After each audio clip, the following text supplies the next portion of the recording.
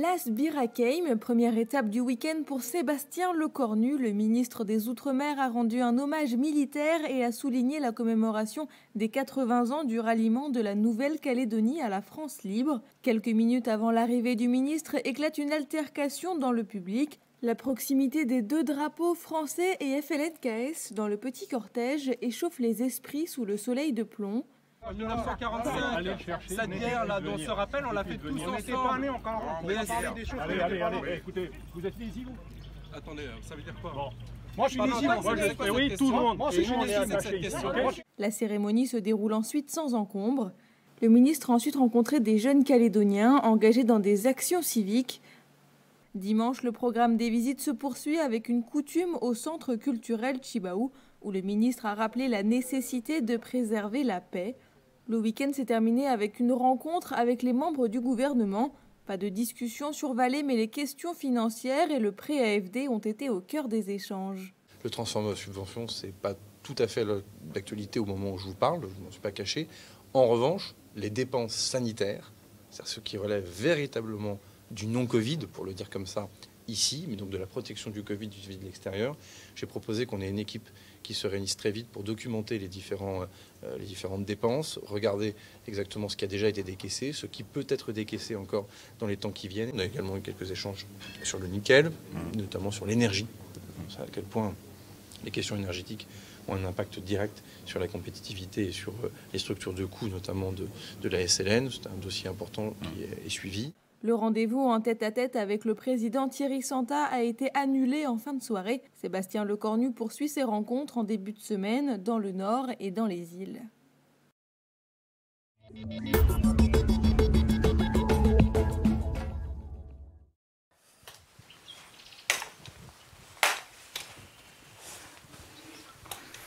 Voilà. Ok. Allez, vas-y, maintenant. Et qui est-ce qui te donne ces médicaments-là? Hein? C'est le docteur qui a donné. Mais... Ah d'accord, donc ça c'est les, les, médicaments des docteurs. Oui. Mais je te demande si tu prends des médicaments de la médecine traditionnelle de l'IFU. Non, mais je fais comme ça. Tous les feuilles là. Les feuilles, oui. Planter, je peux... Mais dans le saladier ou petit... Ça y est, boire. Tu bois souvent? Oui. Ça soulage? Oui, c'est bon. Parce que ici, mais là-bas, au bord de la mer, on a toujours la mer. La médecine euh, traditionnelle, elle est utilisée, j'ai l'impression, de manière presque systématique, euh, avec euh, soit sur les premiers symptômes, l'utilisation de, de, plantes, et puis même moi quand je fais des soins à domicile chez les gens, des personnes qui, qui, ont, utilisent des manous avec des, des plantes qui sont appliquées sur les articulations. et moi je les conforte dans l'idée d'utiliser cette, cette approche-là, euh, même si je leur dis que je pense que des techniques que euh, moi j'utilise peuvent également les aider. Pour nous, le dos, si on a mal au dos, c'est que venant automatiquement de l'intestin et tomber d'un l'intestin. D'accord. On va voir ça pour soulever, lever, on boit et en même temps on fait du kiné. Voilà, c'est vrai que après, dans la kiné, on peut travailler quand on a mal dans le dos à faire des manipulations, des massages dans le dos. Mais il y a d'autres techniques pour faire aussi des massages dans le ventre, en ostéopathie ou etc. Donc finalement, il y a peut-être des choses qui, qui sont utilisées par nos, nos deux façons de travailler. Quoi. Et sachant qu'on le sait maintenant dans la médecine occidentale, qu'il y a des liens étroits entre le système viscéral et puis des douleurs de dos. Donc euh, c'est peut-être tout à fait la bonne approche. Quoi. Ici, il y a une présence de la famille, ça c'est très fort. Donc ça c'est une force aussi, ça, moi je leur dis aussi, hein, quand il y a eu des, justement des cérémonies de deuil, moi je suis euh, euh, touché par euh, la, présence de la famille. Et le, mais c'est vrai que c'est des choses qu'on a un peu oubliées nous-mêmes, et peut-être moi-même le premier, puisque je devrais, j'y pense en même temps être plus près de mon père qui est à 17 000 km d'ici. C'est là qu'elle a mal. Karakoc. Karakoc. Euh, Ah, ah, quand tu appuies, ça fait mal. ça fait mal. Alors on va faire euh, chomija.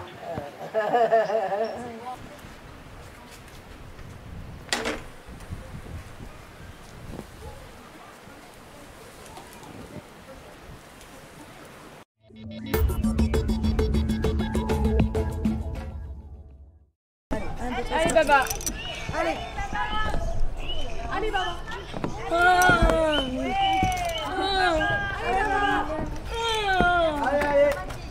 L'escalade, un sport accessible au plus grand nombre, c'est ce que prouvent les enfants de l'Institut spécialisé autisme.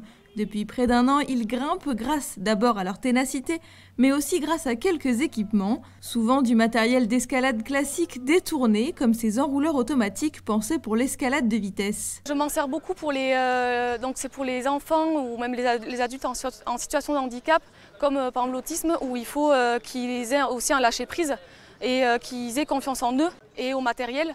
Toutes les prises bleu foncé qu'il y a sur le mur, c'est des prises euh, handi, donc elles sont plus grosses. Et ça tient bien, ça tient mieux que par exemple une prise comme ça, où là ils vont pas avoir confiance parce que c'est plus petit. Un harnais de parapente plus confortable est aussi à disposition pour remplacer le harnais d'escalade classique, des aménagements qui permettent une pratique plus inclusive. À travers cette activité, on va travailler les notions de regard, on va travailler les notions de tonus musculaire, on va travailler euh, euh, la coordination. Dès les premières séances, finalement, on a été assez surpris de voir qu'ils prenaient confiance petit à petit. C'est c'est vraiment génial, on espère pouvoir continuer. Un avis partagé par les petits grimpeurs déjà mordus d'escalade.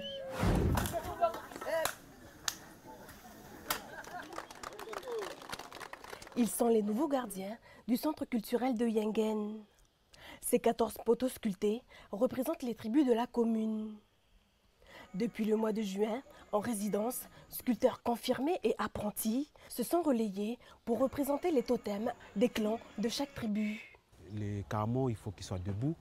C'est pour euh, porter nos autorités coutumières, pour les encourager, parce que ce n'est pas facile aujourd'hui, en 2020, de, de porter les valeurs que nos ancêtres ont, ils vécues. Parce qu'il y a le monde d'aujourd'hui occidental euh, qui domine. À travers ce projet artistique, l'association Dowoun, qui gère le centre culturel de Yengen, a voulu renforcer les liens entre les deux chefferies Goam à Boirat et leurs sujets. Les sculptures des tribus Goa sont dominées par le Notu et celles des tribus Boirat par le Toutout. C'est une action pour euh, travailler la cohésion, la cohésion du groupe, euh, la cohésion de la chefferie. C'est pour permettre de, comment dire, euh, montrer qu'on est, est, qu'on est ensemble, qu'on est ensemble à travers le centre culturel et dire qu'on forme euh, une seule communauté. Quoi. Le projet Kakoha, il y a un peu de temps, il y un de temps, il y a un peu de temps, il un peu de temps, il y a un peu de temps, lora kakoa angen gimen walek ra yelera yelera hiambe au nangena na o yilara tenam dahlo kono la la date d'aujourd'hui n'a pas été choisie au hasard. Ben, ça tombait bien parce que Tali 30, hmm, c'est un festival où on met en valeur euh, la rencontre des gens de Yengen. On, organise ce festival comme on organise un mariage ou nos événements dans les tribus. Chacun apporte à manger, apporte les- toutes les richesses et donc euh, on met en valeur euh, le, le savoir, le savoir-faire des, des gens des tribus. Vous avez jusqu'à samedi pour découvrir les richesses artistiques des Kamoyehen, ici, au centre culturel de Yengen.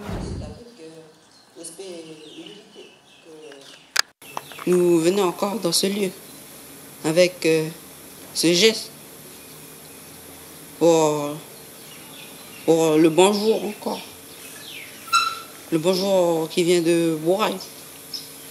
C'est, je m'abaisse encore parce que vous avez accepté de nous accueillir. Avant de débuter les activités, les jeunes collégiens ont tenu à présenter un geste de bonjour à la communauté wallisienne et foutounienne qui les accueille aujourd'hui. Une coutume particulièrement appréciée par le comité organisateur. C'est vraiment euh, très touchant de voir que des élèves font la coutume euh, pour rentrer dans, la, dans notre euh, humble demeure. Cette rencontre intervient dans le cadre d'un atelier culturel lancé en 2016. L'atelier est en lien avec le projet éducatif calédonien hein, qui nous demande de s'ouvrir aux autres, de faire connaître aux, enfants d'autres provinces que la leur et s'ouvrir sur l'Océanie et le monde. Après une présentation de l'histoire de la communauté wallisienne et foutounienne et une explication sur la cérémonie du kava, les collégiens et le comité organisateur se sont réunis autour de la table pour partager le houmou, repas traditionnel de la région. C'est comment les garçons, c'est bon?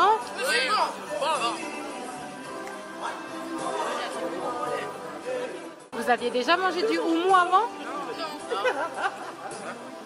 Jean-Pascal et Romain sont en cinquième. Ils participent aux ateliers culturels mis en place par le collège depuis deux ans. Au début, c'était pour euh, enrichir notre. Euh, enrichir, euh, pour s'enrichir à la culture kanak. Et quand ils nous ont dit qu'on allait découvrir d'autres cultures, bah, on a continué. comme ça, ça nous enrichirait pour d'autres cultures aussi. C'était bien, on a mangé. J'ai appris beaucoup de choses. Et puis, ils ont, les mêmes aliments que nous aussi. Ils ont fait de la farine que au four avec de la banane, comme le moita. Les élèves ont été à la rencontre des communautés caldoches et arabes depuis le début de l'année. Dans deux semaines, ils poursuivront leur voyage culturel à Négoné.